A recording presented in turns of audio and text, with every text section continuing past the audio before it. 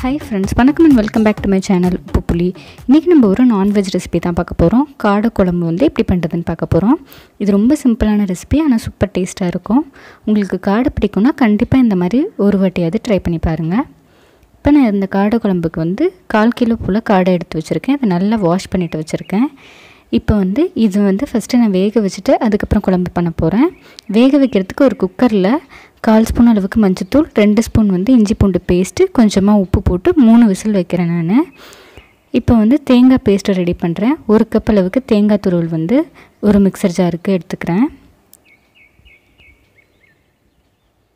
இது கூட ஒரு முக்கால் ஸ்பூன் அளவுக்கு மிளகு ஒரு முக்கால் ஸ்பூன் அளவுக்கு சீரகம் சேர்க்குறேன். அரை ஸ்பூன் அளவுக்கு சோம்பு சேர்க்குறேன். கொஞ்சமாக கசகசா ஒரு கால் ஸ்பூன் அளவுக்கு சேர்க்குறேன். சேர்த்துட்டு இது கூட கொஞ்சமாக தண்ணி ஒரு கால் கப் அளவுக்கு தண்ணி சேர்த்து இதை நல்லா வந்து ஃபைன் பேஸ்ட்டாக அரைச்சிக்கிறேன்.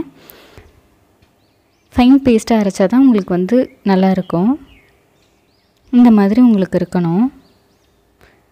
இப்போ ஃபஸ்ட்டு அந்த கோகோனட் பேஸ்ட்டை வந்து சேர்த்துக்கிறேன். இது கூட கொஞ்சமாக தண்ணி வந்து ஆட் பண்ணுறேன் ஒரு கால் கப் அளவுக்கு. இப்போ குழம்பு பொடி வந்து ஒரு மூணு ஸ்பூன் அளவுக்கு நான் வந்து இங்கே சேர்க்குறேன். நல்லா கட்டி எதுவும் இல்லாமல் நல்லா மிக்ஸ் பண்ணிக்கோங்க. உங்களுக்கு வந்து கன்சிஸ்டன்சி எந்த அளவுக்கு குழம்பு வேணுமோ அந்த அளவுக்கு வந்து தண்ணி கூட குறைச்சி சேர்த்துக்கலாம். திக்காக வேணுன்னா கொஞ்சம் குறைச்சிக்கோங்க தண்ணி. இப்போ சப்போஸ் உங்களுக்கு குழம்பு பொடி இல்லைன்னா ஒரு அரை ஸ்பூன் அளவுக்கு மஞ்சத்தூள் ரெண்டு ஸ்பூன் அளவுக்கு மிளகாய்த்தூள் ரெண்டரை ஸ்பூன் அளவுக்கு தனியாத்தூள் சேர்த்துட்டு இந்த மாதிரியே நல்லா மிக்ஸ் பண்ணிக்கோங்க. இப்போ ஒரு பேனில் வந்து தேவையான அளவு எண்ணெய் சேர்த்துக்கிறேன். ஒரு ரெண்டு ஸ்பூன் அளவுக்கு சமையல் எண்ணெய் சேர்த்துக்கிறேன். இதில் ஒரு கால் ஸ்பூன் அளவுக்கு சோம்பு வந்து தாளிக்கிறேன் ஃபஸ்ட்டு பூண்டு வந்து ஒரு ரெண்டே ரெண்டு பல் வந்து பூண்டை வந்து இடித்து கூட நீங்கள் சேர்த்துக்கலாம். நான் வந்து கட் பண்ணி சேர்க்குறேன். கொஞ்சமாக கருவேப்பிலையில் வந்து சேர்க்குறேன். இது நல்லா பொரிஞ்சதுக்கப்புறம் பத்துலேருந்து பதினஞ்சு சின்ன வெங்காயம் வந்து இந்த மாதிரி பொடியாக கட் பண்ணி சேர்க்குறேன். சின்ன வெங்காயம் சேர்த்தா தான் டேஸ்ட்டாக இருக்கும். சின்ன வெங்காயம் சீக்கிரம் வதங்குறதுக்காக ஒரு ஒரு டீஸ்பூன் அளவுக்கு உப்பு வந்து சேர்க்குறேன். உப்பு சேர்த்தனும் உங்களுக்கு ஒரு ரெண்டு நிமிஷம் வதக்குனிங்கன்னா போதும் நல்லா வதங்கிடும். சின்ன வெங்காயம் நல்லா வதங்கினதுக்கப்புறம் தக்காளி சேர்க்குறேன்.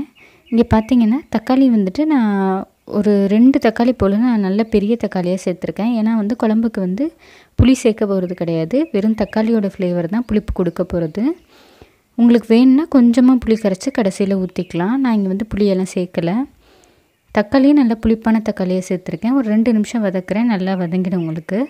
வதங்கினதுக்கப்புறம் நம்ம குக் பண்ணி வச்சுருக்க அந்த காடை வந்து அப்படியே நான் இங்கே சேர்க்குறேன். இப்போ இது வந்து நல்லா கொதிக்கணும். நல்லா கொதித்ததுக்கப்புறம் தான் அடுத்தது நம்ம குழம்பு பேஸ்ட்டு வந்து ரெடி பண்ணி வச்சுருக்கதை வந்து சேர்க்கணும். அப்போ தான் இதோட பச்சை வாடையெல்லாம் போகும்.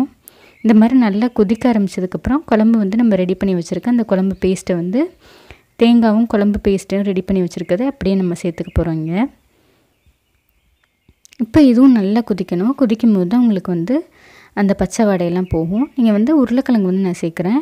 நீங்கள் வந்து கத்திரிக்காய் முருங்கைக்காய் எது இருந்தாலும் சேர்க்கலாம். உருளைக்கிழங்கு வந்து ஒரே ஒரு உருளைக்கிழங்கு சின்ன உருளைக்கிழங்காக சேர்க்குறேன். இப்போ இந்த உருளைக்கிழங்கு வேகிற வரைக்கும் இந்த குழம்பு வந்து நான் அப்படியே மூடி வச்சுருக்க போகிறேன் உருளைக்கிழங்கு வெந்தோன்னே உங்களுக்கு ரெடி ஆகிடும் காடை வந்து ஆல்ரெடி உங்களுக்கு குக் ஆகிருக்கு இது ஆறுலேருந்து ஏழு நிமிஷம் வச்சுருந்திங்கனாலே போதும். உங்களுக்கு வந்து உருளைக்கிழங்கு நல்லா வெந்துடும். மீடியம் ஃப்ளேமில் வச்சுருக்கேன். அவ்வளோதான் உருளைக்கிழங்கு வெந்தோன்னே நம்ம இந்த குழம்பு வந்து சூப்பராக ரெடி ஆகிடுச்சு இது வந்து இட்லி தோசை சப்பாத்தி பூரி எல்லாத்துக்குமே சூப்பராக இருக்கும். காடை குழம்பு சூப்பராக ரெடி ஆகிடுச்சு நீங்களும் இந்த காடை குழம்பு ட்ரை பண்ணி பார்த்துட்டு எப்படி இருந்ததுன்னு மறக்காமல் கமெண்ட் பண்ணுங்கள் மீட் இந்த next video until then bye bye from me என்னோட சேனல் பிடிச்சிருந்தா மறக்காமல் சப்ஸ்கிரைப் பண்ணிவிட்டு பக்கத்தில் இருக்க பெல் ஐக்கனை கிளிக் பண்ணிக்கோங்க. அப்போ தான் நான் ஒரு ஒரு வாட்டியும் வீடியோஸ் போட்டேன்னா உங்களுக்கு நோட்டிஃபிகேஷனில் வரும்.